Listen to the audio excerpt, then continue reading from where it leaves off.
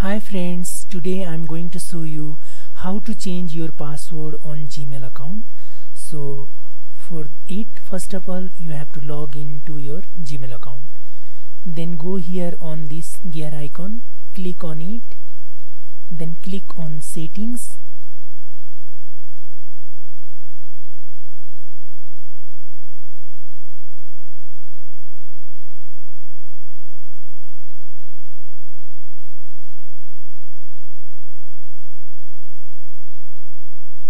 Now click on accounts and import.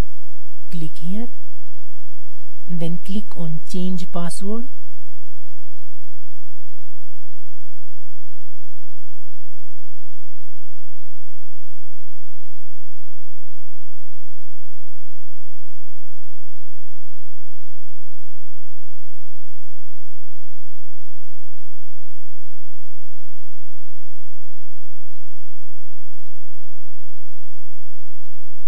you have to put your current password here before changing new password.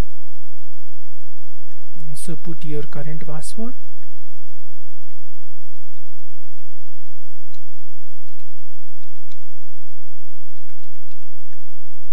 Then new password here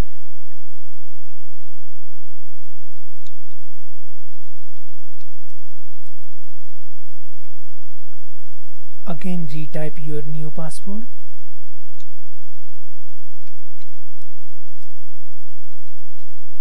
Then click on change password.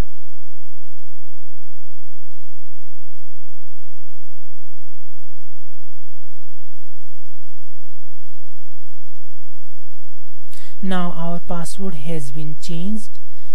I hope you like this simple video and I would like to request you please subscribe my channel to get more simple videos. Wish you all the best. Thank you for watching. Good luck